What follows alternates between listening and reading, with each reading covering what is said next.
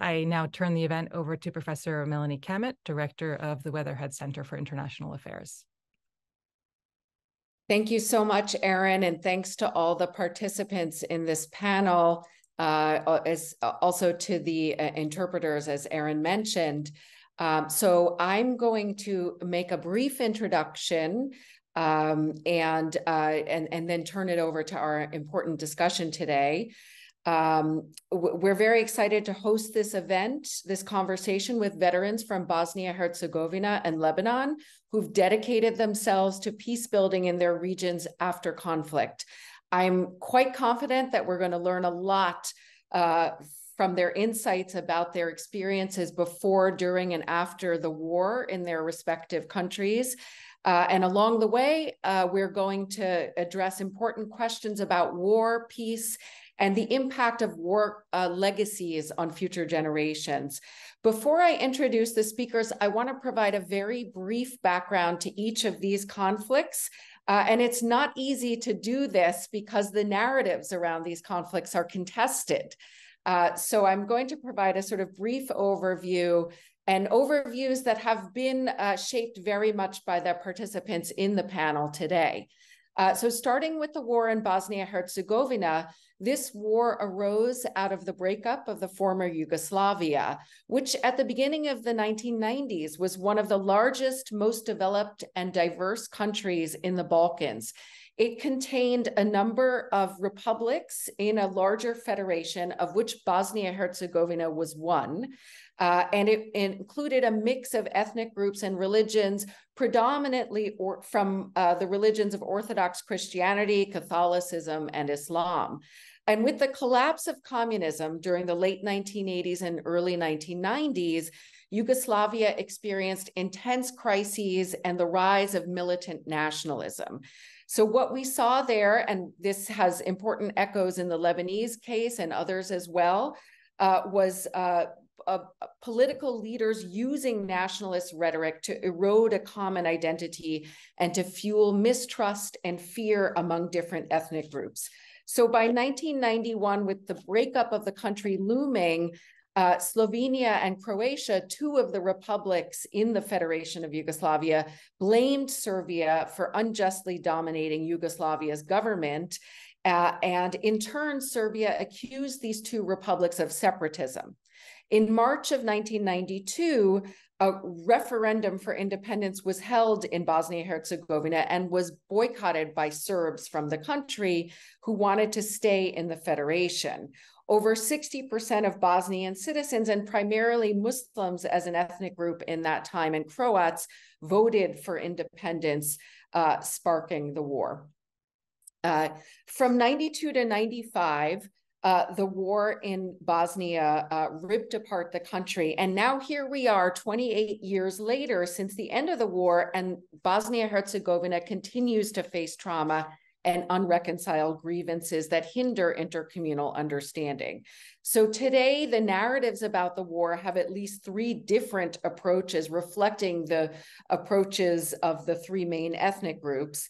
Uh, and, uh, and we will uh, hear from representatives of the different uh, armies that participated in the war, the Army of Bosnia and Herzegovina, the Army of the Republic of Srpska, and the Croatian Defense Council. Uh, the last thing I want to say about this war before turning to Lebanon is that to this day, the total number of people killed is not yet uh, established, which reflects the lack of consensus about the nature and consequences of the war. So the span of estimated deaths ranges from over 95,000 to uh, as many as 250,000 people. Um, so let me briefly turn also to the war in Lebanon and provide a, a very short background.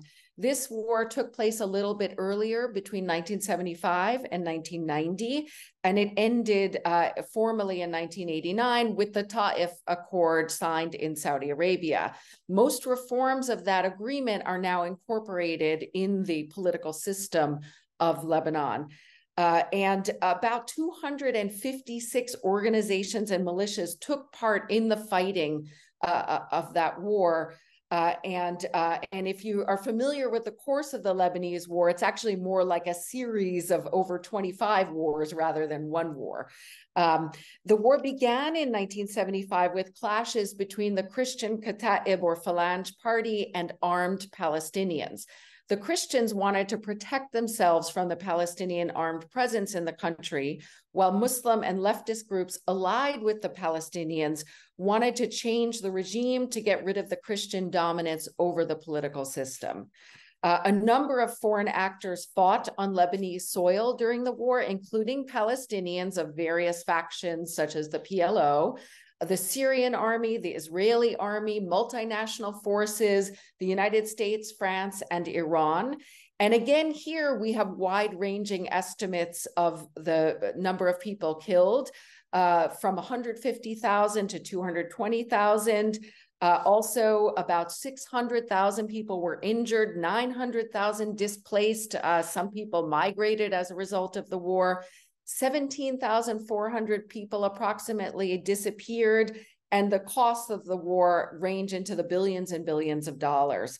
Many Lebanese believe that the civil war never really ended because of the lack of true reconciliation, ongoing clashes in the territory to this day, and the ongoing presence of armed factions.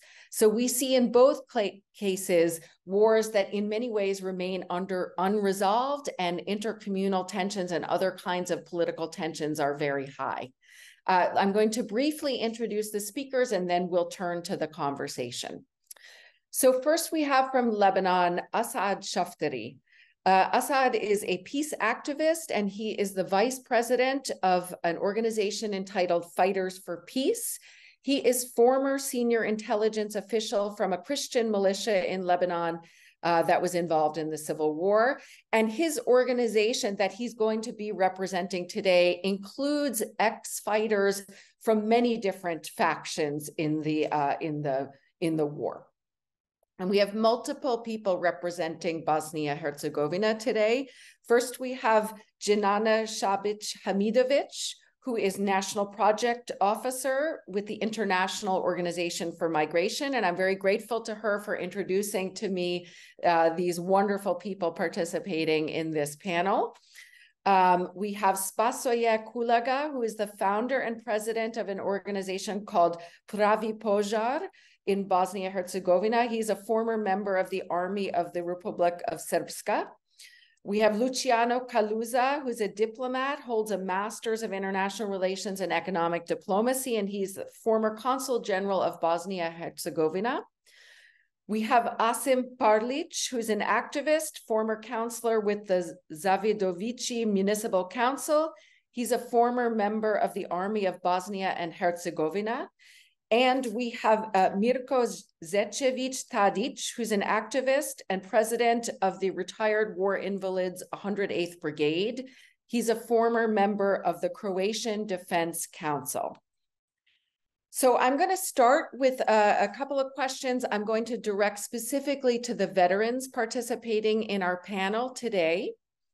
Uh, and I'll open up with uh, questions. I also want to emphasize to our attendees here today that we're going to try to leave some time towards the end of the conversation for your questions, uh, for you to pose questions. Uh, so let me start off uh, with the question um, about what life was like prior to the war for each of you. Um, where did you live? What did you and your family members do prior to the war? And then, if you could briefly tell us how the war started for you. So, again, we have a number of veterans participating, and I'm going to ask that each of you try to keep your answers very brief just so that we can hear from everybody today. Uh, why don't I start with Assaad representing the, the Lebanese veterans here? Thank you. Yes, uh, good evening, everybody. Uh, war for me uh, it was a shock you know. Uh, uh, i was 19 years old when it started uh, and we just thought that it would be uh, clashes for some days as usual you know. And then our politicians will would sit and uh, solve it somehow or you know distributing some some things between each other but sadly, it, it lasted what it lasted, you know, un, until 1990. I remember it was a, a Sunday and we were coming back from church, and it was maybe the last good uh, Sunday with the family that I had for many, many long, uh, long years. You know, Lebanon was uh, known as the pearl of the Middle East, but uh, sadly, things were disrupted a, lot, and until today, we were uh, almost unable to uh, recover. Thank you. Thank you so much. can I turn to you, Spasoje? Good evening, good day. It's still daytime. I would like to greet you all and thank you for this opportunity to exchange experience in this way and hear about our past. Until 1992, I completed all of my education. I was a young man who had a job, I worked, I had very different plans for what my life was going to be. But uh, just as you said, in our environment, in the former Yugoslavia, divisions began. Uh, the war started first in Croatia and Slovenia, and since I live on the very border, my city of Derventa is on the very border of the Republic of Croatia. The war also began in our town. We never believed that there would be war in our territory. When it started in Croatia, we thought it would never reach Bosnia and Herzegovina. But in March of 1992, the war did come to my town as well. And as a young man at that time, I joined as a soldier. I joined what used to be the army of the Republic of Srpska. Um, it was the ethnic group that I belonged to, and I believe that this was the safest place for me to be at that time. Thank you so much. Um, Asim, can I turn to you? Is Asim connected? I don't think Asim is connected, and uh, I think but Mirko is. Okay, so I'm going to turn to Mirko then.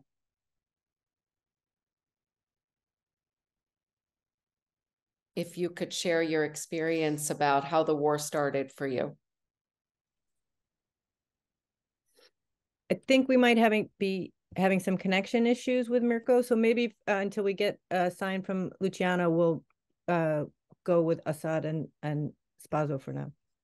Okay, okay. Uh, apologies about all the technical difficulties. It's uh, challenging with everyone dialing in from different parts. Um, uh, so, so let me turn to the wartime then, um, and I'd like to invite everyone to um, uh, to join us here on the panel. Um, so uh, perhaps we could actually start with um, some of the non-veterans here, and then I'll turn to the veterans. Uh, Dženana, would you share with us a little bit about your experience during the war? I understand that you were present during the war in Bosnia-Herzegovina.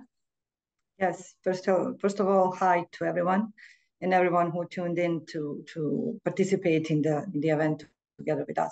I was 11 years old when the war started in the country. Um, I was living in Tuzla. Uh, this is my uh, city of origin and where I was born, and I spent the entire war, uh, the entire war there. Um, there is a joke that I usually make with my friends, uh, saying that we only remember nice and good times uh, from the war there. I guess because we were at that age.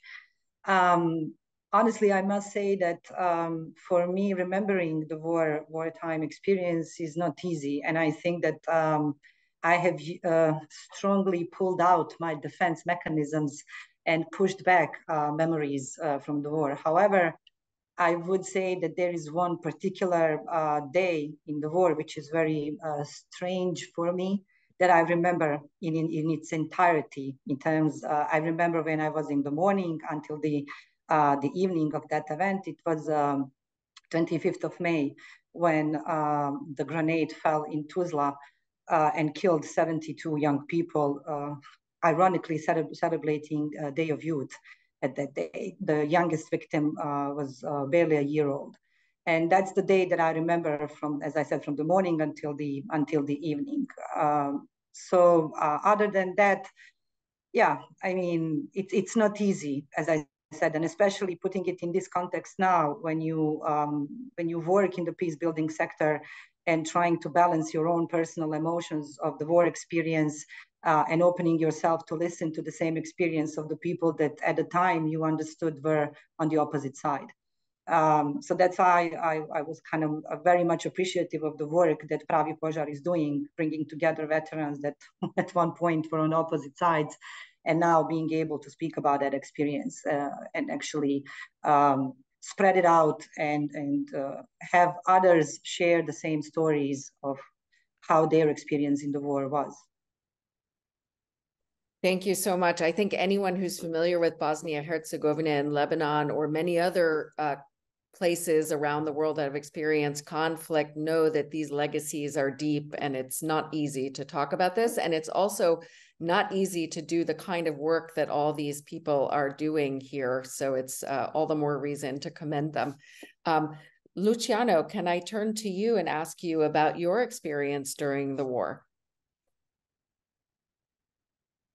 Uh, Melani, thank you. Uh, uh, first of all, greetings for, for all participants and also greetings for attendees that, are participating and uh, listen our uh, forum. Um, I was 14 when the war started in Bosnia and Herzegovina, so I have a really good remembrance of the starting of the war and let's say in the before war period.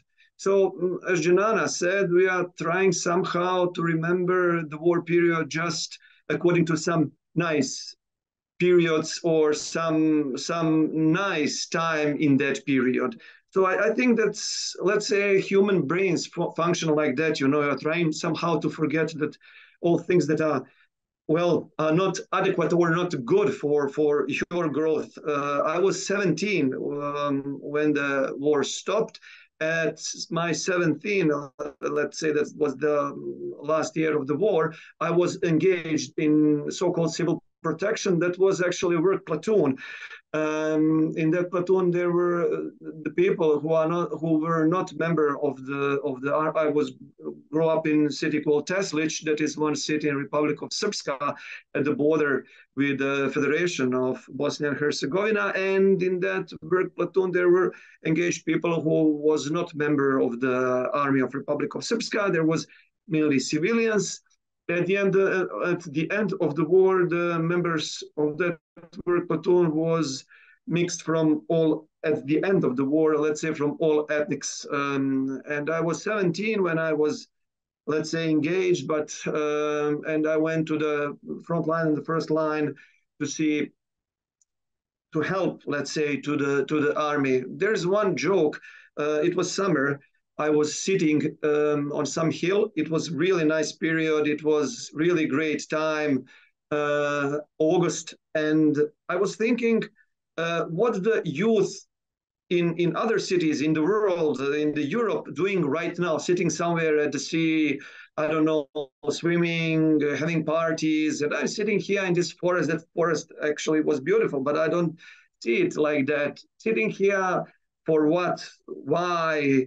Where what what will happen to me and all those questions when someone some someone old as 17 that i was was thinking in that period so uh, actually that was the moment uh, that stay really deep into my memory and that's the moment that gave me inspiration for later work in civil society in bosnia and herzegovina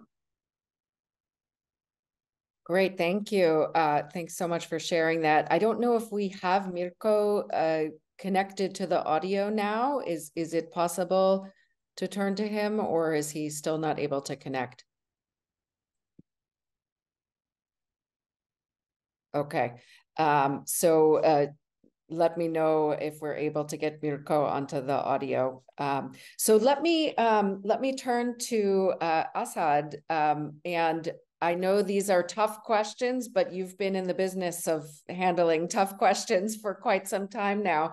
So, um, so I wonder if you could share your experiences during the war, if there's some things you could share with us, and later we'll get to post-war experiences and your move towards peace building work. But if you yeah, could, of course, yeah, share some experiences. Yes. Uh, I think I'd better put off my uh, uh, stop my video because my internet is unstable. Can you can you hear me now? We can hear you. Those of you that are familiar with Lebanon probably know that there's a major economic crisis going on, and it's electricity is a major issue and telecommunication. Yeah, yeah. So yes, many many issues nowadays. Uh, so, uh, as a food soldier at the beginning of the war, being a student engineer, then an engineer, you know, I immediately took uh, part in organizing telecommunications, then some artillery. Then I was at the uh, in the nucleus that started the intelligence and security services of the Christian side, and I.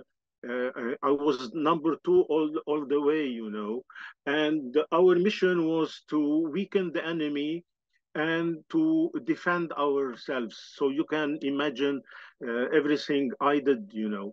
The main issue, I think, was the clear conscience that I was at the end serving a, a holy cause, you know, because of uh, uh, trying to protect the Christians against the the the enemies who sadly for me were back then the Palestinians, the pro-Palestinians among the Muslims and the communist groups and uh, and so on and I could go home with a really clear conscience, considering that what I was doing was a technical work, you know, to get rid of the uh, enemies. I felt that not killing civilians was enough uh, as as a good uh, for a good cause, you know. But sadly, now I know it was not uh, the case. Uh, uh, it, it, was, you know, the idea was all uh, it all started i think when i was very very young uh, in age i don't think that a civil war or a war starts when the first bullet bullets are are shot you know it's it was the first time i heard that there was another and that the other was so different and uh, was starting to become dangerous for the integrity of my community and my uh, and my country.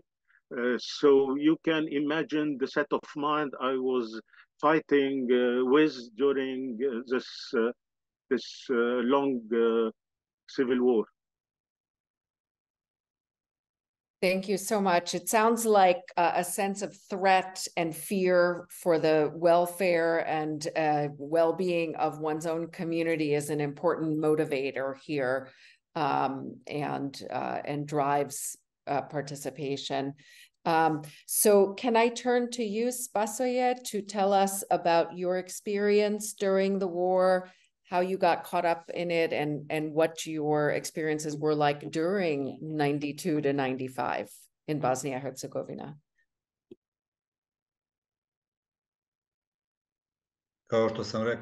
As I said, I am from Derventa. That is a city on the north of Bosnia and Herzegovina on the border. And we heard about the war in 91 when it was in Croatia. Uh, in the spring of 92, uh, the war from Croatia came into Bosnia. As I said, I felt the safest with my people in my ethnic uh, group and because of, uh, of from the Second World War II that uh, caused a lot of conflict among the people, among Serbian, Croatians, and the Bosnians. Uh, and all this, these narratives were transmitted. And, and I found myself in the war. Uh, I was uh, the foot soldier. I was a soldier and later on, uh, during the fights uh, in this area, uh, opposing to me were the Croatians, the Croatian Defense Council and the regular Croatian army as well that came from Republic of Croatia. So this was a conflict between two armies. We did not have a conflict where the civilians uh, were perishing, but as we soldiers say, that this was an army war. In this war in 92, I was young when war started, and I frequently say I do not uh, uh, celebrate my birthday uh, because I start I went to war when I was 23 in the summer of 92 here in the fights in Derventa. I was also seriously injured and uh, and uh, I um, uh, had my uh, leg amputated above my knee and all this uh, changed my life and I had to start and live a different kind of life uh, which was unknown to me. And because of what was happening in Bosnia and Herzegovina, I was a member of the army in some way, and I was contributing in the administration, more in the administration and not in the field because physically I couldn't. But in one moment, I had to devote myself to myself and my health, which was the consequence of the war. And in war, there are some rules, but uh, in the war, you know, there are no rules. Uh, there should not be any mines in the war. However, uh, on the area of Bosnia and Herzegovina, these rules were broken, just like in any other war. And uh, I, uh, I uh, stepped on a mine and I got injured and that was my war experience. Uh, in the war, there are terrible things, and in this area also. And in that period, I saw a lot of ugly things, a lot of death uh, of friends, of my school friends, of my acquaintances. And after some time, uh, since Derventa and this area where uh, ethnically Serbs, Croatians, and Muslims lived together, I found out that many of my school friends and friends from work also were injured or that they lost their lives.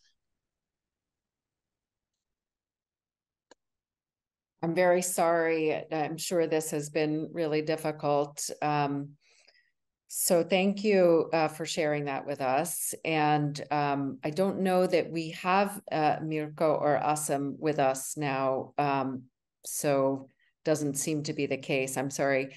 Um, so um, so let me turn to uh, moving beyond the wartime period, uh, which is obviously extremely difficult and um, has long legacies. Um, so let's start to get at some of those legacies. Um, I'd like to hear what each of your lives has been like since the war. Um, how have you lived with the memories of what you underwent during the war? It's very clear that these memories are traumatic and um, and that many people uh, you know, across Bosnia Herzegovina, Lebanon, and other societies in the world are living with traumatic memories.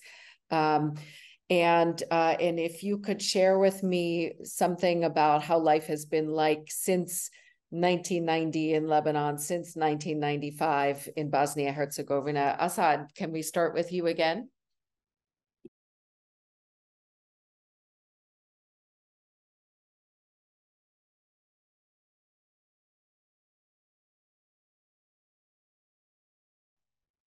Are you able to hear me, Assaad? Yes, now I'm hearing you. Okay, great. So I was just asking about life after the war. Have you? Yeah, but I did not get your uh, uh, your question. Please, can you repeat it? Absolutely, yes. I'm turning to yes. post 1990. The war has ended. And can you take us through uh, something about your life after the war, uh, how things evolved for you, um, and how you've lived with the memories of what you underwent during the war. Yes. Uh,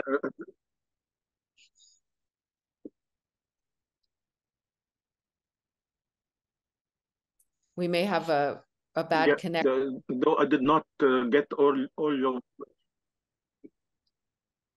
Yeah, I know. Uh, sadly, yes. Uh, so I'll try to, uh, but tell me if you hear me properly or not. We hear you Do now. You hear me? Yes. Okay. So uh, uh, luckily for me, I think that uh, before the end of the Civil War, I met a group called uh, Moral Rearmament. Then they changed their name into Initiatives of Change. It's an international movement who uh, who convinced my wife to join them. Then you know how women do convince their men. So I uh, I, I followed, and there you know they uh, they started asking me some uh, very peculiar questions like uh, you want to you want to change the lives of others and change others and make them uh, think like you and look like you and similar but are you ready to change Uh, uh, uh, what's within you first? Of course i never thought that i had anything to change in me. I was the, mm-hmm. the perfect person. Uh, little by little, they took me through a very difficult mm. path of inner listening, you know, maybe to that inner voice or to God for those who, mm-hmm. who are believers, you know. And I discovered that I was very far from being pure, honest, unselfishness, and loving.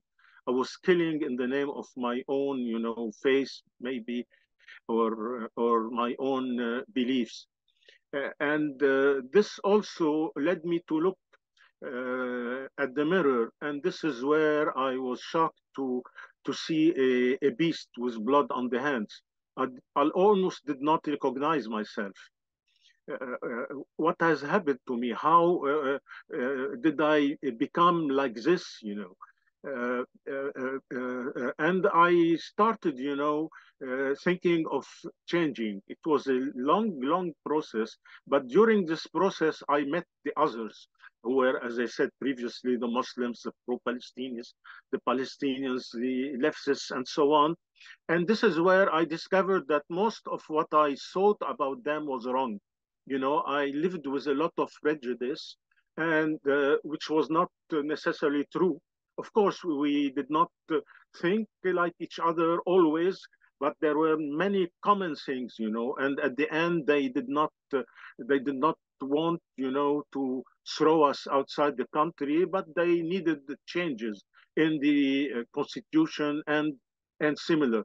To my surprise, I discovered that they carried names and that I was uh, able to uh, to sleep with uh, with them in the same uh, room, maybe.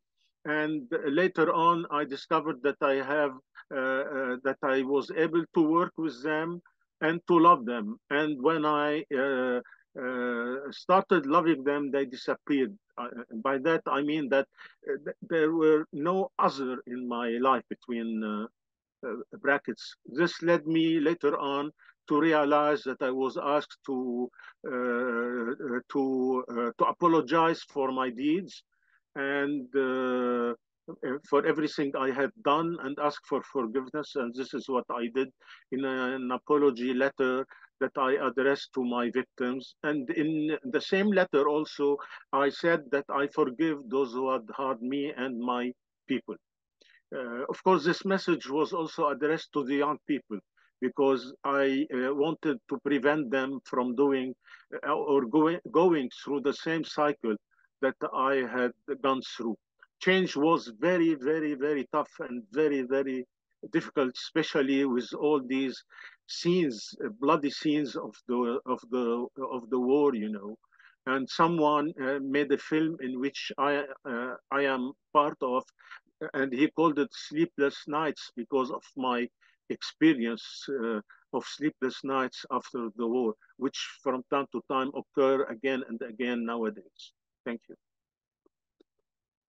Thank you so much for sharing this with us. It's clear that you've done amazing work both at the internal personal level and at the societal level. And um, in the uh, work I've been doing in uh, on post conflict, post-war intergroup relations, I'm finding that reconciliation is truly rare, but it sounds like you've reached that higher state and it's quite impressive and a model for, for many people across the world. So thank you for that.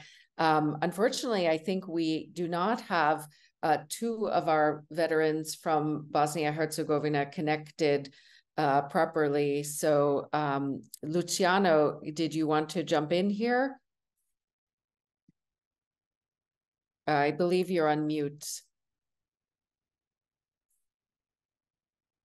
Luciano, uh, I'm in contact with, with Mirko, and I think that uh, he will be able to speak, but he just don't hear us. So I will I will send uh, tell him now to start to speak about his experience, hoping that we we will manage somehow to start it like that. Okay, I will send him text now. Okay, yes, we would love to hear a sort of brief overview of what his life was like prior to the war and how the war started for him and just take us through to um, his life after the war. It would be wonderful to get his perspectives. It looks like he might still be connecting, so maybe Spaso could give his answer just given, if that makes sense. Okay. Yes, Spasoje, if you could uh, jump in and then uh, and then Luciano can can Mirko step in after that? Okay, thank you.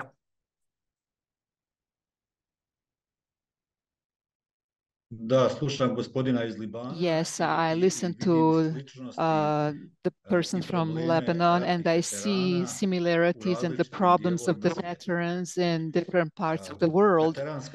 Uh, veterans problems, the uh, soldier problems uh, is very similar. The differences are slight.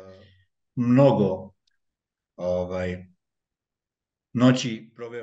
I spent many nights, sleepless nights after war, very often, very frequent reminders for us here in Bosnia and Herzegovina, where we live in places where we were in war and we walk by uh, where our friends died, where our friends got injured, where mishaps happened. And in one way, uh, our memory is rekindled rekindled every day after the war in 95.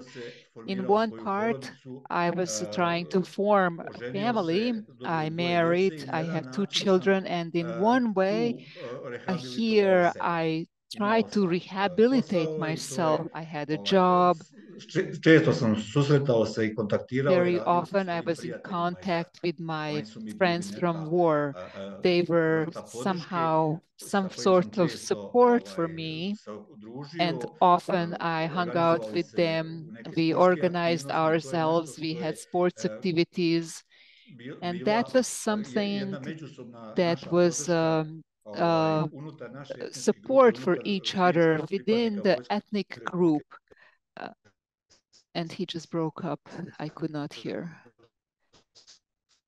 Uh, we lost the connection. Okay. And in this way,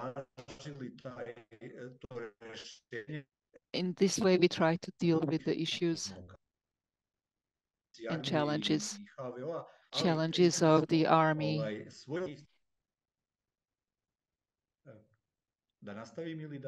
Nas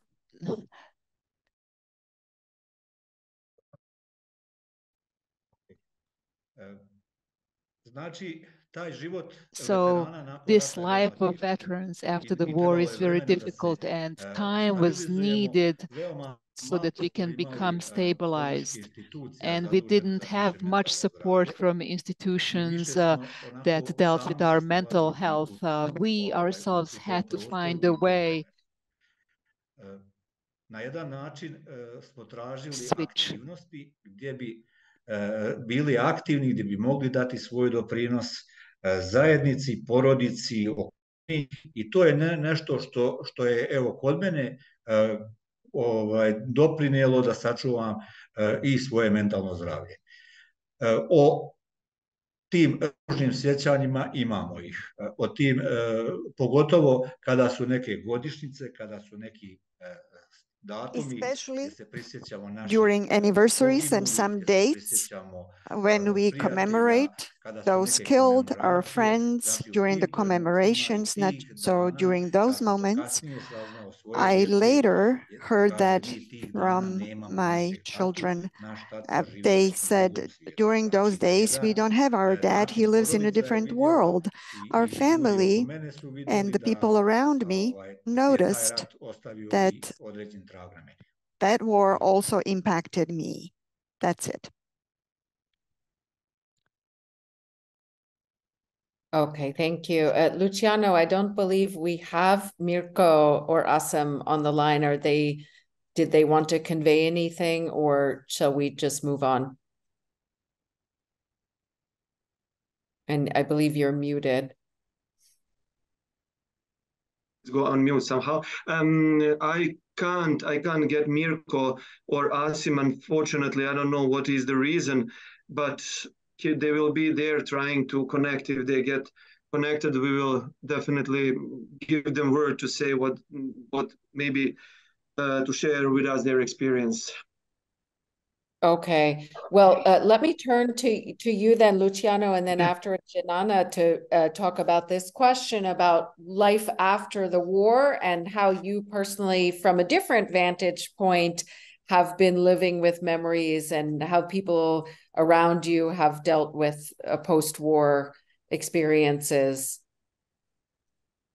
Um, I said to you that teenage period actually in my case, and I do believe in, in cases of many youth in the world, is a very sensitive period in, in their life.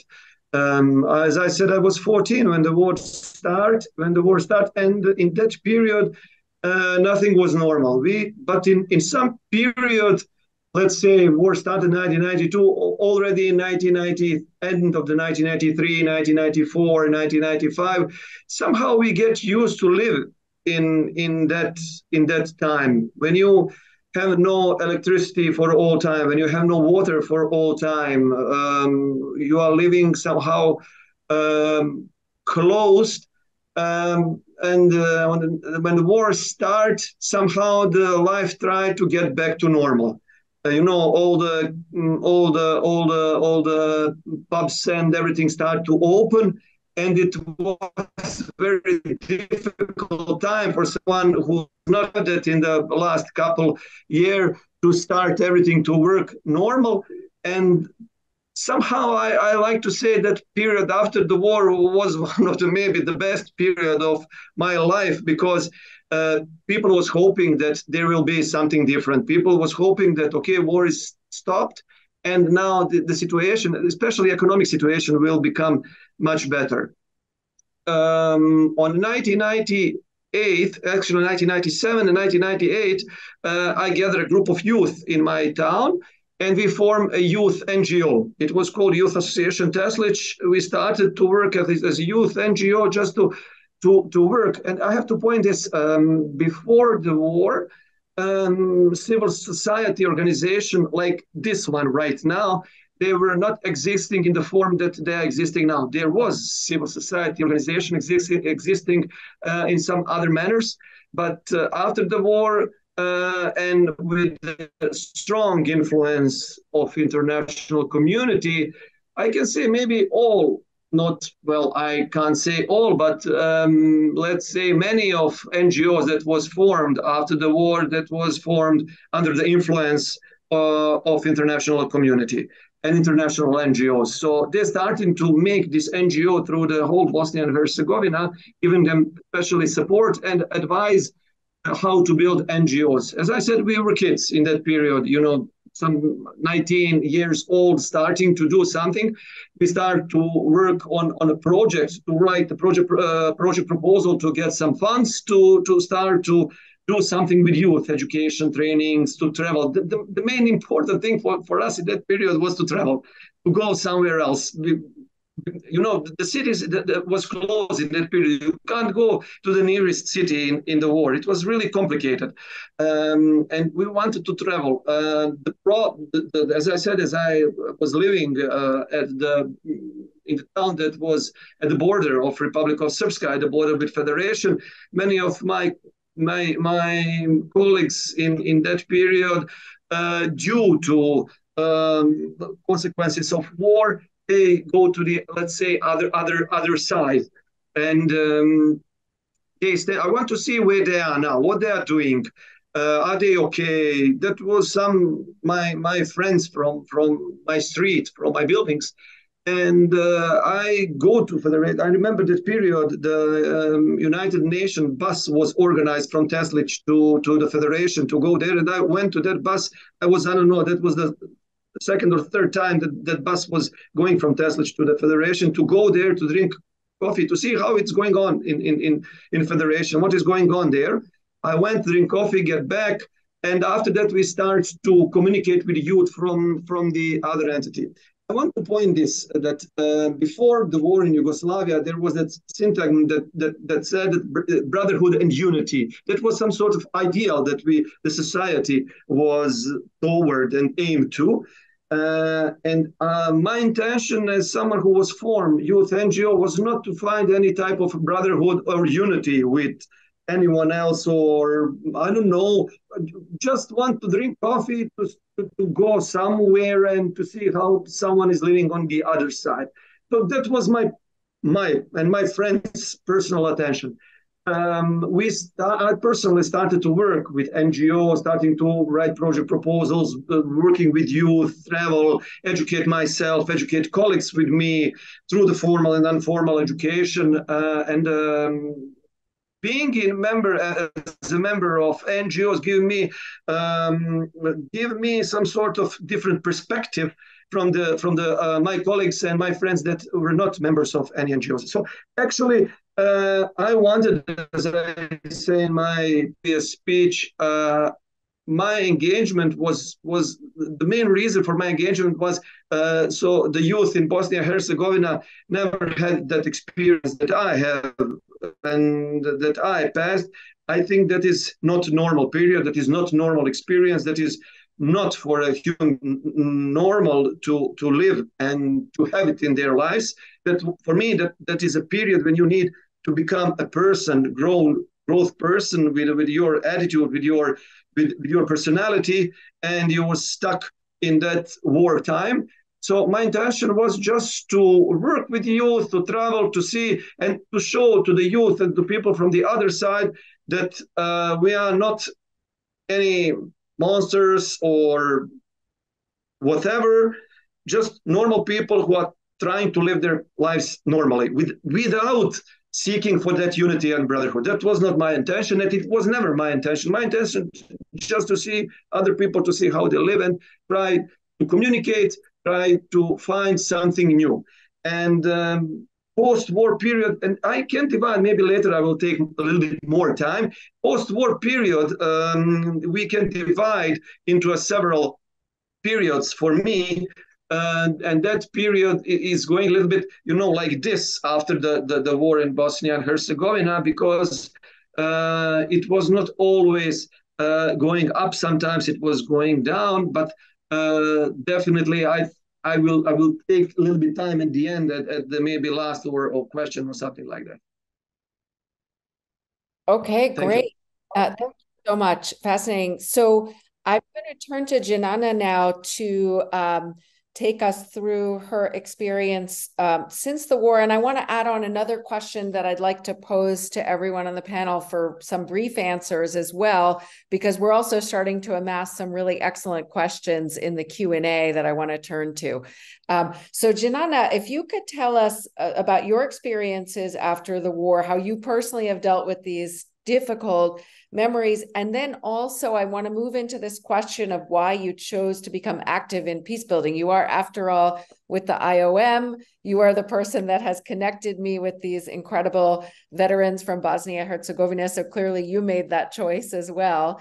Um, and so I wonder if you could take us through to that. And then I want to briefly, after that, turn to the veterans and ask about um, their peace building activities, what they do very briefly, and, and then we'll turn to the questions from the participants, from the audience.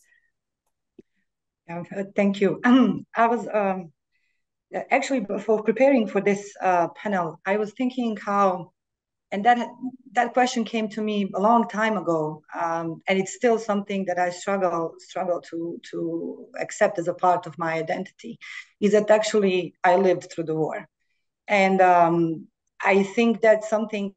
I'm 40 plus years now, uh, but somehow I'm really struggling to identify myself as a person who has lived through the war, and um, to I think it's a part of def- def- defensive mechanisms uh, that I spoke to, uh, before. However, um, as opposed to, to what Luciano said, I don't know. For me, um, ever since I finished uh, primary school, I was a, a, captain of our volleyball team. And in Bosnia, there was these uh, newspapers called Mirko that were uh, distributed uh, across the country uh, by EUFOR, if I'm not if I'm not mistaken.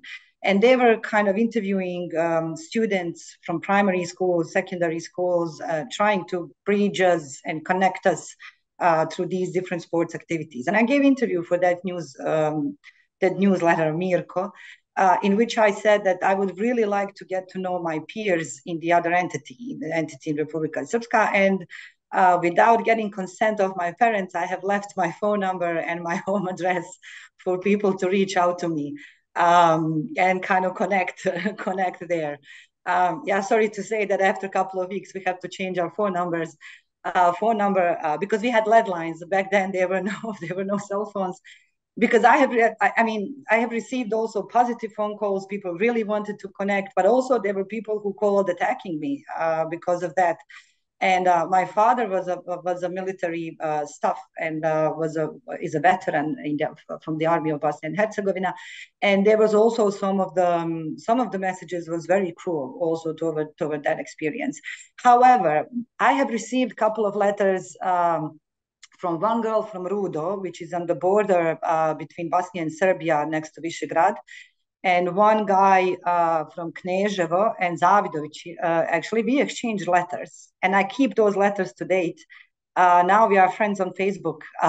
that kind of remind us that we connected back in 95, 96. Um, and so I knew uh, after living through that experience as I think 14 year old, I knew that uh, peace doesn't have an alternative, uh, actually.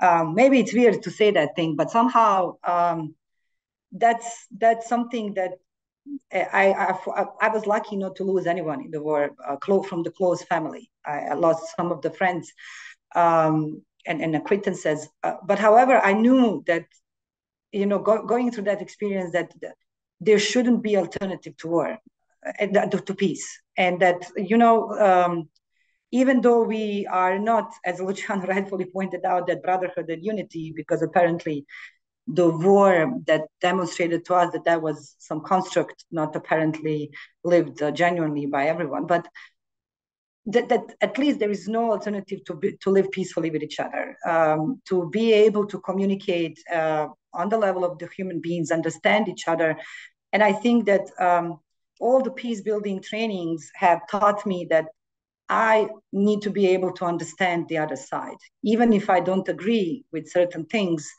I need to be able to understand where is that coming from, where is that experience coming from, and how that experience shaped the person in front of me, to be able to understand um, our differences uh, ultimately. And um, when I had a, so I'm going to jump now fast forward for my work in uh, IOM and how I met Spasoje, uh.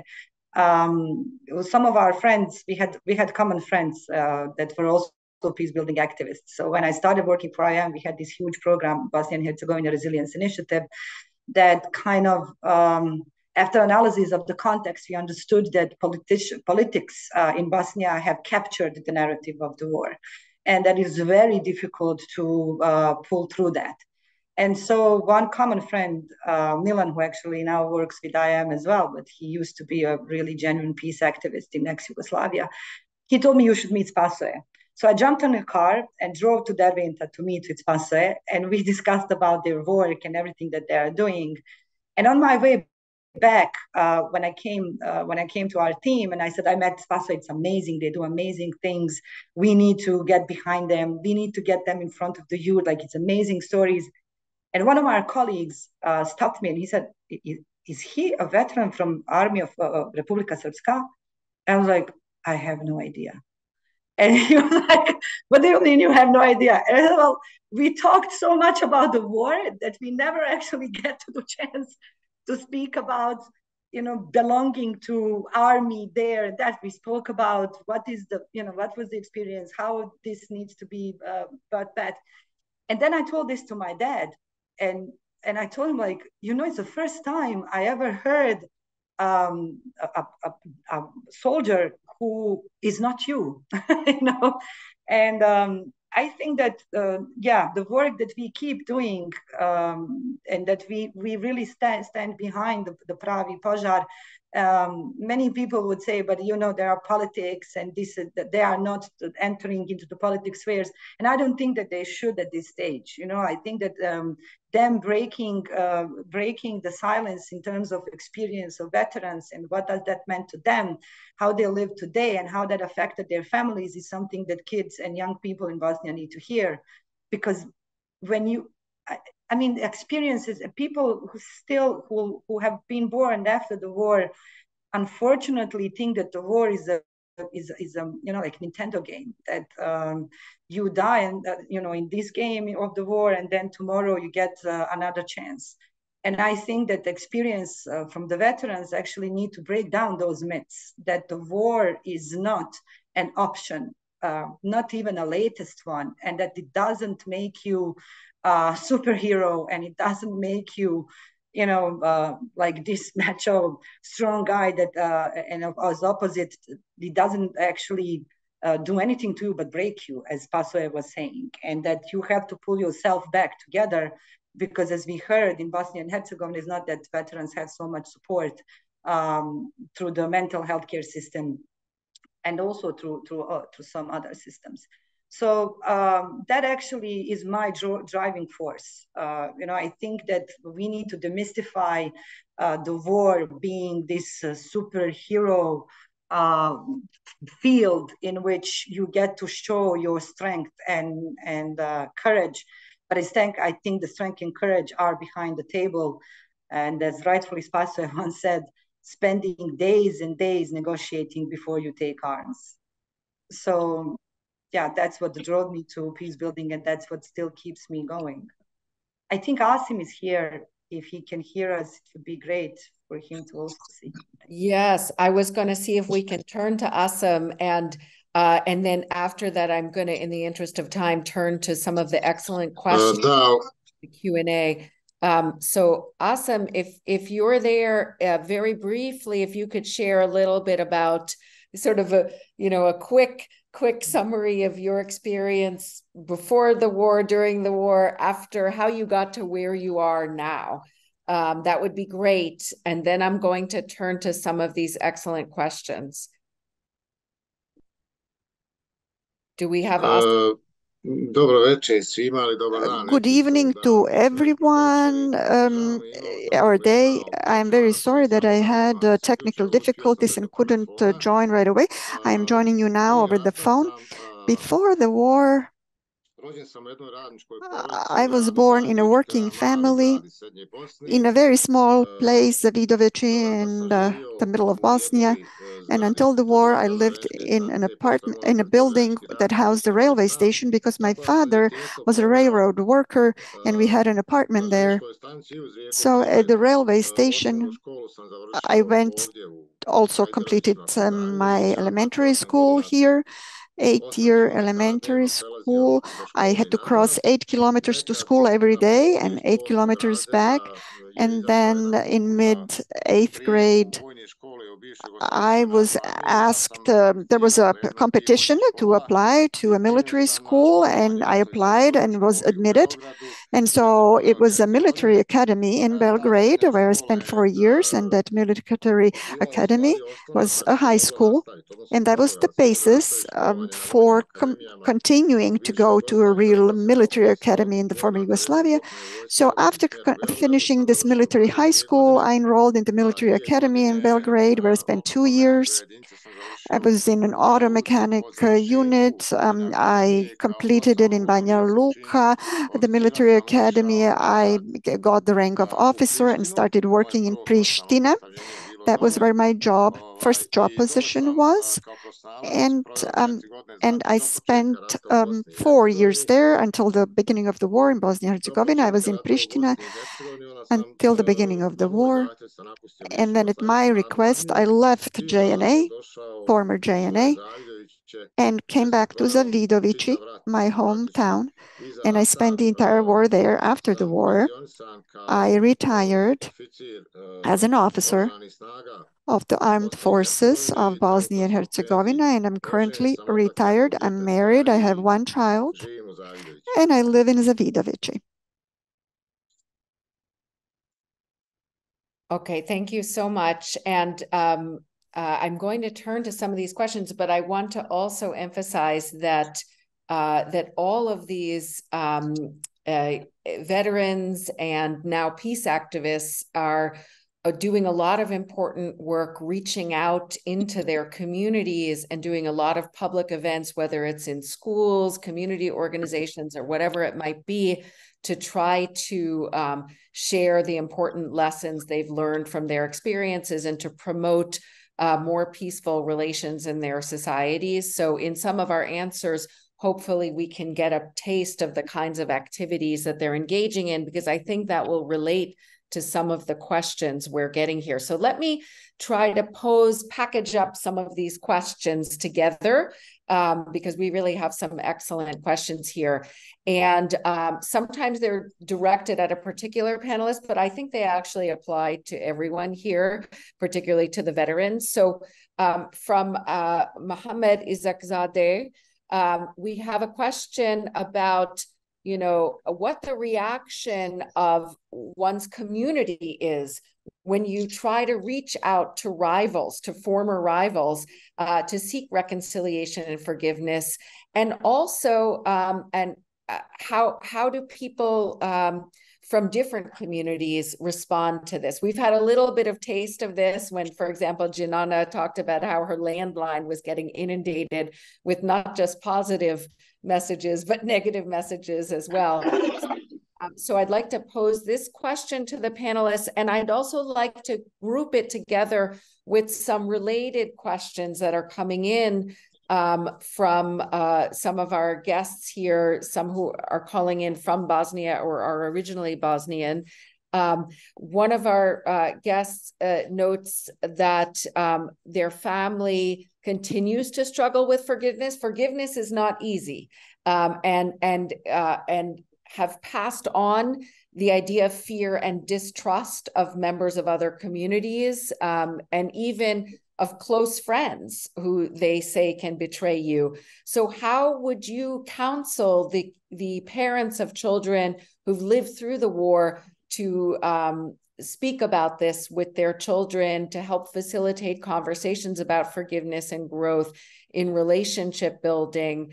Um, and then uh, one more question I'd like to um, uh, pose to sort of put with this group of questions, a related question is what message can you send to young people nowadays who are expressing hate and even violence on the basis of national, ethnic, or religious differences uh, against their neighbors? So, if we could um, address those sets of questions about, you know, drawing on your experiences, what advice would you give, um, and how are you working to promote forgiveness and reconciliation?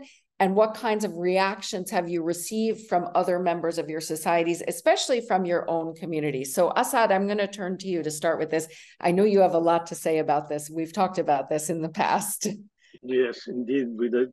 Uh, in fact, uh, uh you know, uh, uh, there are some things that a, a government or a state should do at the end of a war and sadly, in Lebanon, for example, we did not go through any process of, uh, of uh, reconciliation apart from uh, our politicians sitting together maybe and dividing the cake.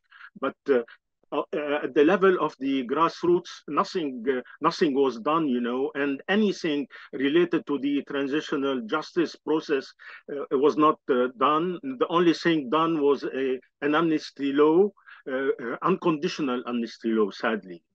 Uh, and uh, recently, two or three years ago, uh, a department to look for the disappeared and take care of their families. This, these were the only things done. Uh, uh, uh, and the parties or the groups or the militias which took part in the civil war were not dismantled and which worse also the communities are still there and they're still hoping you know to keep a good image for the future uh, in front of those who are face still between brackets facing facing them. So uh, someone from this group going out and saying listen guys i'm sorry for what i did and i want to reconcile with the other is uh, is like an act of uh, it's like you are a, a, traitor you know. They consider you as a as a traitor. Uh, while my surprise was to uh, to see that the uh, reception from the other side was uh, surprising you know uh, was so generous you know it's as if they were there waiting for a christian person to come forward and say listen guys we're sorry we did very bad things and not accuse them also of these things. You know, one should not, when apologizing, should not give reasons why he did this or did that. A bad thing is a bad thing. You know, this is uh, uh, this is important. An apology should not be political only. It should come from the heart. It should come from the conscience and uh, and so on. Now, regarding uh, forgiveness, uh, it's a very very uh, difficult thing. It's difficult to forgive and it's also difficult to come forward asking for forgiveness. And I mean, in not all cases, you can see someone, a perpetrator, come forward and saying to, to a victim's family, "Please forgive me." So it, it makes it more difficult for the for the families uh, to uh, to without seeing someone in front of them explaining uh, what happened. That has to be done to heal, uh, to heal uh, the hearts, you know, and heal the future. Uh, because the one who carries hatred in his heart, uh, the other are not feeling. The others are not feeling it. He is the one suffering from it. This is uh, what I try, try to explain to people who, who come forward to to, to take my my advice. Now, for, for the youth, you know, they should understand, as uh, uh, Madame uh, Hamidović uh, said, you know, that uh, hatred, non-communication, uh, violence, war are not something, you know, that you can do easily and get out e easily. It's not only about facing the other, you know, in a war or something where you are the hero and they have to lose or one of the two sides uh, uh, uh, have have to lose. In in in wars, you know, everybody loses, and this is very important to understand. You know, the ones who win lose somewhere, and those who lose lose, of course. So it's important to teach them that uh, war is not the answer. Violence is not the answer. There are tens, if not hundreds, of answers uh, before uh, something that we should never reach. I mean, which is the military, uh, the military uh, violence, and that living together is really much more beautiful than any day during the war you know we should always stress on how ugly it was how uh, how hard it was how uh, bloody it was and uh, that it's never never the answer Thank, Thank you. you. so much. Um, Spasoje, would you like to jump in? no ovaj, yes. First, samom razgovor da I see in this conversation that this internet is really against uh, us veterans because we have this problem here. We veterans have this problem, as I can see. And to us, it is really important and our model of work is to hear the voice of veterans. And I'm very sorry Mirko couldn't come to join us because the model of our work, of our association is to hear from all three parties in Bosnia and Herzegovina. And so that we have three narratives uh, when we talk and we really want this to happen and these technical um, problems are really making this difficult for us. And this is reminding us uh, of our uh, first um, meeting. Many international organizations and institutions do not want to work together with war veterans and we have a lot big problem here because they don't want to from some reasons uh, part of the veteran population uh, is to the right and it is with the politics but uh, there is a generalization that they don't want to work with the veterans and they do not want to cooperate with them. Uh, the reaction of the community where we live, these reactions are, uh, I can say, uh, some are judging us and the others are saying that we are doing a good work and the third, they, they are just quiet. So some are judging us. Um, we do have some uh, encouragement and support, and we have some that say nothing. They don't want nothing to do with it. Uh, forgiveness it's a big thing. I also take part in many programs where uh, you address the victim, whether the victim was a civilian or a, a soldier, you have to talk. If you do that, to the victim. And if you do this from uh, ethnic uh, group, and if you go where all these uh, happenings were, uh, I will be judged uh, from my own group. So not many people will support me in this on this, this territorial part of Bosnia and Herzegovina, where you have the Republic of Srpska and the Federation, and we have also division of three people.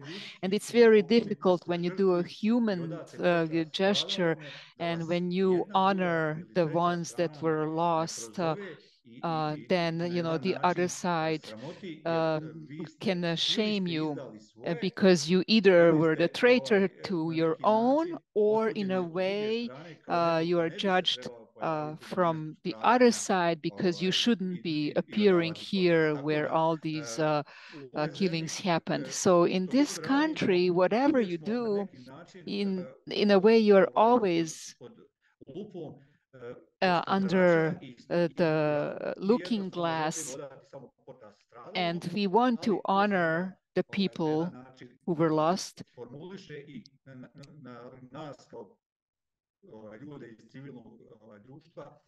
so we people, the civilians, want to do something that is good in our program uh, as I said, uh, we have three veterans in our program, and they work with the youth, and they uh, the constructive use of veterans experience is the program, and we are very proud of this program because the experiences of the war veterans are important to prevent violence um, among the youth and they need to hear from us, from me and Asim how it was to be in the war, how it is to see all those killings and how is it to live with all this. And here is the hidden answer. Uh, how do you work with the youth? And what is it that we counsel them? We don't give them uh, advice, but we give them a chance to talk with the war veterans and hear their experiences. And then they are aware enough to learn from these experiences and to realize that uh, uh, war is not an interesting experience, that there are consequences to the war. And sve manje pričamo jer se bavimo samo ratnim veteranima, nemamo uslova, uh, so we do not have enough uh, resources to talk about how it affects the family too and how women uh, participated and uh, young people. And we have a lot of workshops here in Bosnia and Herzegovina that we uh, deal with. And we encourage them to work together, work with the, the parents. We want to live. Uh, your parents were in many different uh, uh, circumstances and uh, they could be poisoning uh, us with some uh, what some things what we went through, and we want them to be educated and to be engaged in this association. Very often we encounter a judgment uh, of veteran association in Republika Srpska. I'm sorry, uh, he's breaking up. Could not hear. Okay, it, it looks like we lost him, but I know Luciano wants to jump in, and then I'm going to pose one or two more questions because we have about 10 minutes left. Okay, um, give me a um, great intro. Maybe for the for your next question, I don't think that that that uh, about political and general generally situation in, in Bosnia Herzegovina. Give me that great intro when he said uh, from all sides. Um, he get uh, his association give reaction, you know, from from one side, second side, and the third side. Um, we have to be honest towards ourselves and um, and and toward um, international community. Bosnia and Herzegovina is deeply divided society. Um, it's deeply divided because of uh, different uh, and complex set of historical, cultural, political reason. They are primarily uh, along ethnic and religious lines with three major ethnic groups. Maybe just the people uh, to know that the Bosniaks, Bosnian Muslims, Croats, uh, Catholics uh, from Bosnia and Herzegovina, and Serbs, uh, Orthodox Christians. Uh, and also there is so-called the others, the people that are not belong one of those three groups. Uh, and um, this division uh, is not started in 1992. 1992 was just the continuation of the pre previous period. And the war in Bosnia and Herzegovina, I get uh, often, and I said it, uh, that it's just continuation of, of the Second World War. But also, Second World War was somehow um, did not start because of itself uh, in, in, in former Yugoslavia. Also, there is roots before. So um, complex situation, historical situation after the, the Ottoman Empire in Bosnia and Herzegovina, uh, Austria-Hungary uh, uh, uh, Empire in, in this area provide different cultural and historical narratives. So uh, all the way all the way we have that uh, so so-called uh, uh, uh lines that are going uh, among us with the lines of division. And uh, even from 1945 when when the Socialist Federative Republic of Yugoslavia was created even in that period when when the people trying to make that division uh, uh, invisible, they still persist in the people. There was there in the people. No one worked with the people from 1945 to 1992 uh, with dealing with the past. No one worked with them and to see what happened in 1994. As Spasoje said in the beginning, some of the war crimes in, in whole Bosnia and Herzegovina uh, was uh, was repeated from the war crimes that happened all, let's say, almost in the same area in the Second World War. That is, give us a strict point that we need to work more on uh, process dealing with the past. And when we, are, when we are speaking about the reconciliation, I like to say that it is very hard to achieve reconciliation on the way that is written in the books. That we have to forgive. We said, okay, now we will make reconciliation and we will be happy in the world. I think that we need to work on our recon uh, uh, reconciliation of our attitudes. That we have to understand that the Bosnia and Herzegovina is deeply divided politically, especially, but also by ethnic and religious line. To understand that division is uh, present here, and we need to adopt it like that and start to act in line with that. We can't build one nation in Bosnia and Herzegovina. You know that there was that uh, there was that period in Austria-Hungary uh, uh, uh, kingdom, let's say, uh, when when there was um, in, after the Congress of Berlin, uh, there was appointed a person who was called Benjamin Kállay. He, he works a lot to try to create one nation in, in Bosnia and Herzegovina. And there was strong movements from Serbia, from the Croat, Croat side. Not from, we can't go in that direction. We need to work with the people, with the people attitudes.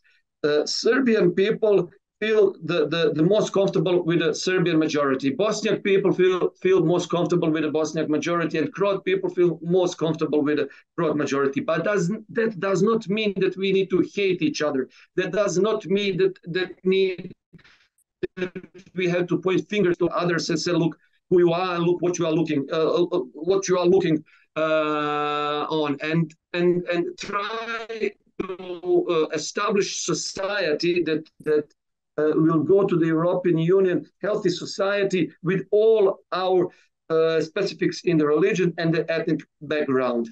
And there is also um, somehow when we are trying to build our society, somehow when we are trying to build our society, there is always influence from some other side that somehow try uh, not to give us that possibility to do that.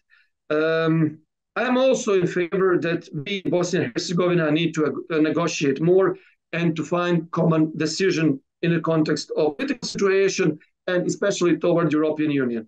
I think that some sometimes, uh, and I, I, I will be, I'm, I'm quite often, uh, quite often in our media, especially in the Republic of Srpska, and I uh, say that uh, international organizations have not this uh, after the war period and help us a lot to uh, to create and try to rebuild our society in some sort of uh, economic, uh, social, and any other ways. Uh, they help us to try, with with, with things that maybe we alone could not do that in such a, a, fast period. But now somehow, like they are trying to stop us to do things that we need to do. Like there is someone from the side said, okay, that what you are trying to achieve between yourselves, that is not good. We will tell you what is maybe the best for you. I think that period is over.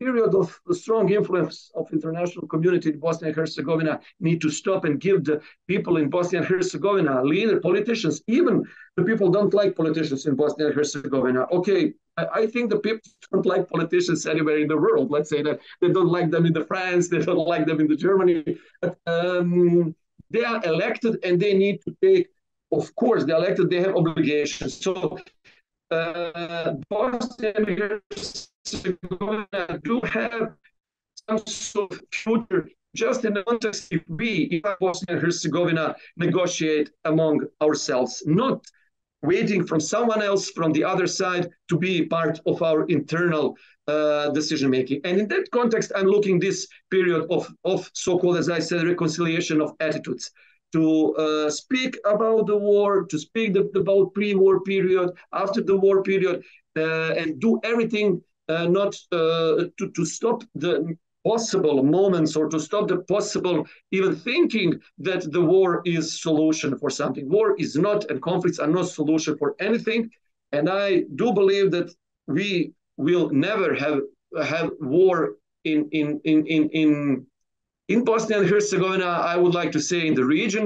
I definitely want to be positive and think that uh, we finished with all of it we need to build our society to to have our youth, to have our children, to educate them, to uh, to be the best sports in the scientists in, in Europe and give us uh, from us to give the best to the world in that context.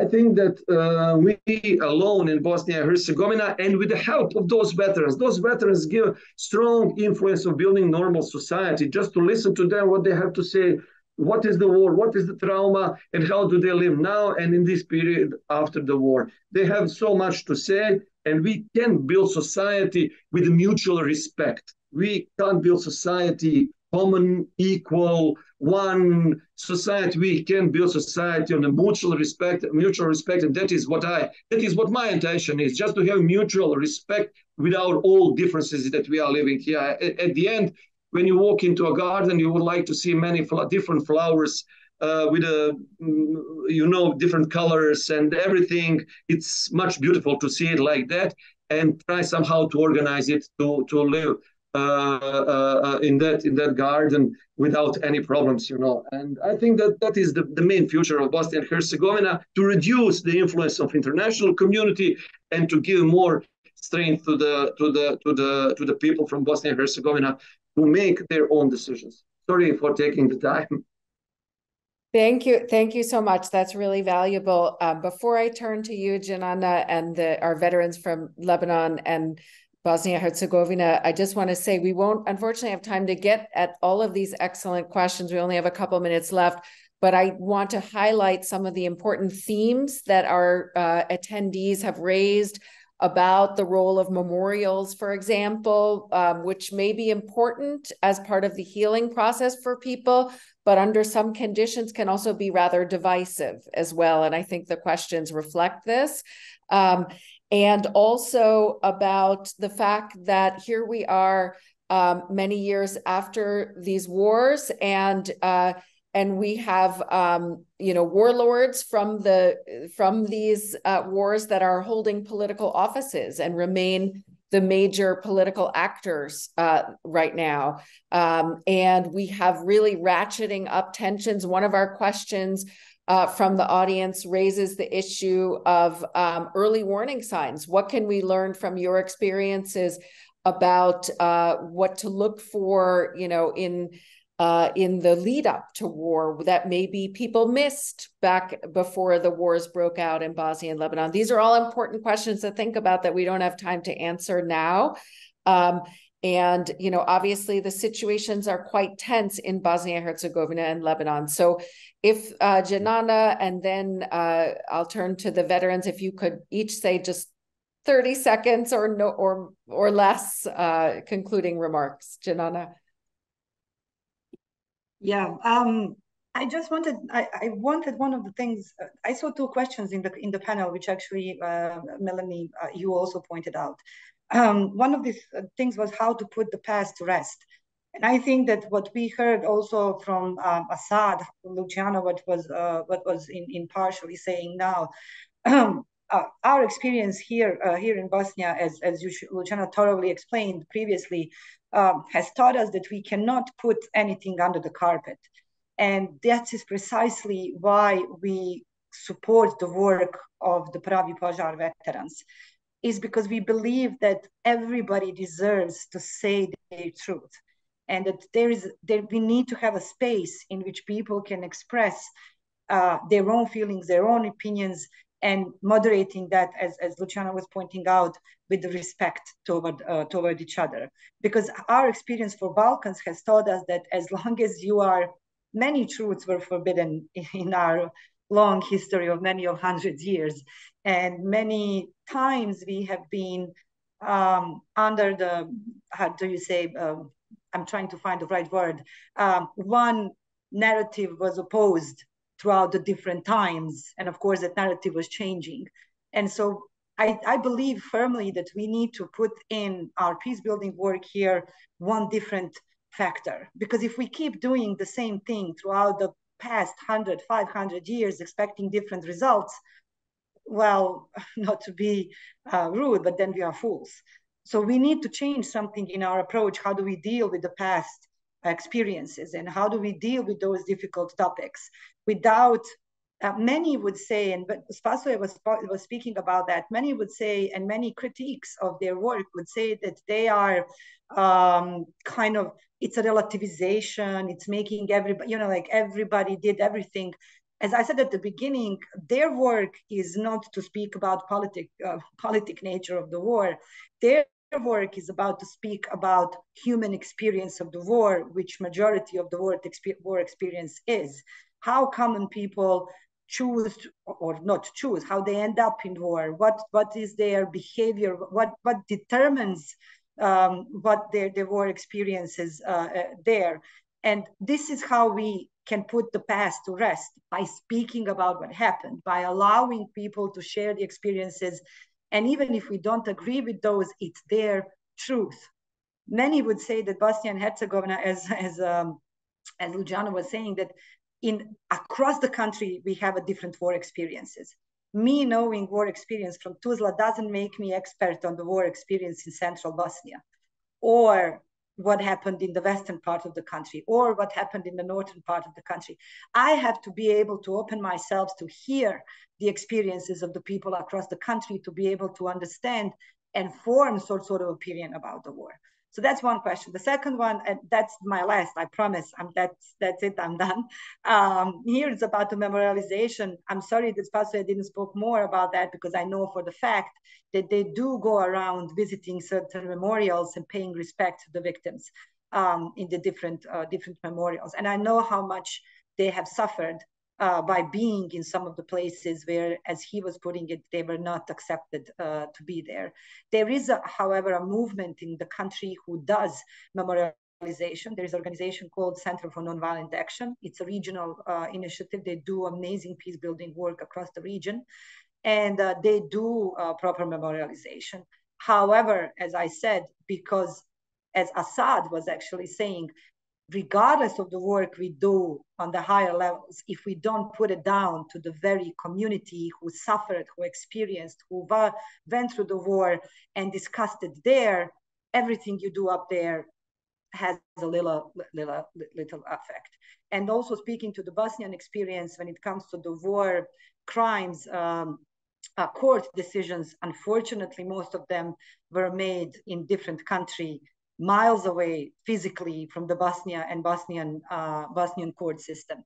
So whenever the decision uh, and the verdict was made against um, uh, for the for the war crimes in the country, we have left politicians and the media to spin it in a way that they felt suitable, depending which which uh, which army uh, the, the, the, the, the, person who was uh, convicted belonged without going down to the specific community that that specific crime concerned to speak about them what does that mean to them and how do they see this this is why we still have a denial of the war crimes across the country this is why we are still debating about the court verdicts because we haven't put it close to us they have been made different, uh, you know, far away from us and it's not there. We don't feel it. So we have to change the way we do peace building, although it hurts, although not everybody can agree with it, but we have to be able to open up a space for people to truly share their experiences with respectable and understandable way. That's it. I'm sorry I took some time of you uh, Thank you. It's all incredibly valuable. Unfortunately, we are now over time, but I don't want to leave without letting our veterans say some parting words. So, Assaad, can I start with you very briefly? Yes, uh, very, very briefly. I would say that we should not despair from anybody uh, or the possibility of changing anybody. And we always answer by saying that if we were able to change, if I was able to change, then anybody else can change, and uh, thus situations can change. This is my first uh, last message. The second one is don't isolate that you should not isolate the politicians because we need them to listen to us. If we put them in a box, you know, and I don't want to deal with you, I won't be of a help for them. Uh, you know, they should listen to us to be able to change. Uh, uh thirdly, each one of us uh, citizens, you know, can be the source of this change, you know. And uh, finally, we should not forget uh, to work on those who nourish this uh, divide culture, you know, uh, like uh, uh education, educators, like uh, media, like clergy, maybe, and and so on. So uh, work on the level of grassroots, of the elite, but also on the intermediary intermediary levels. Thank you so much. Thank you. Uh, Spasoje, very brief.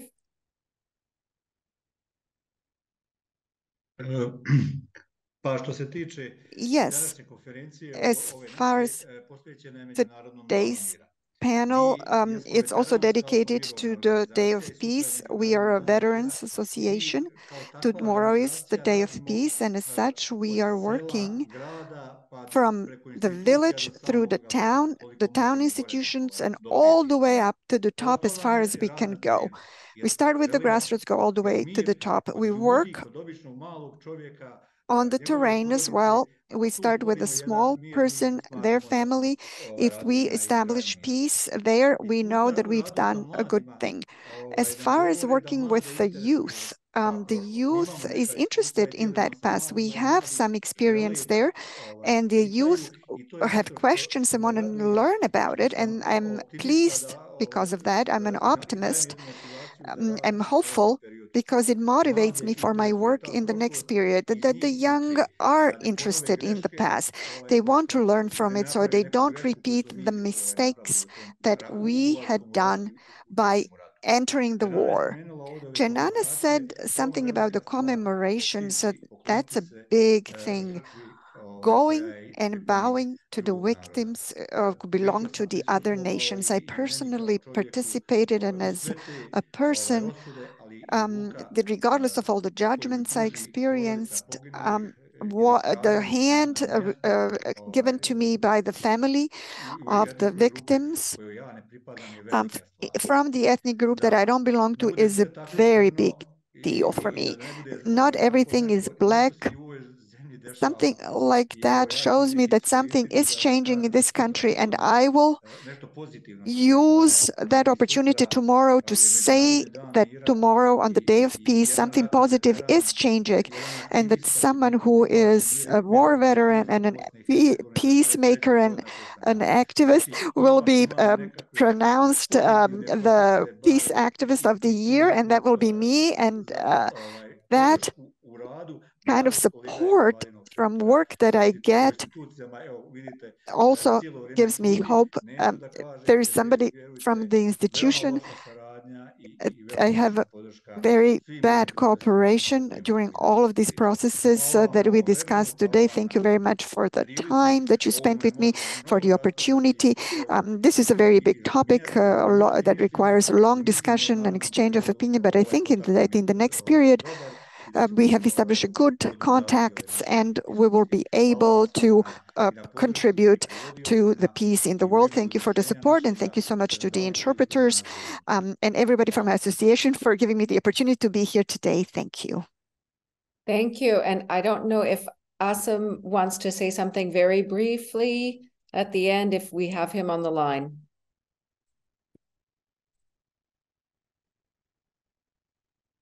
Okay, sounds like he's not connected.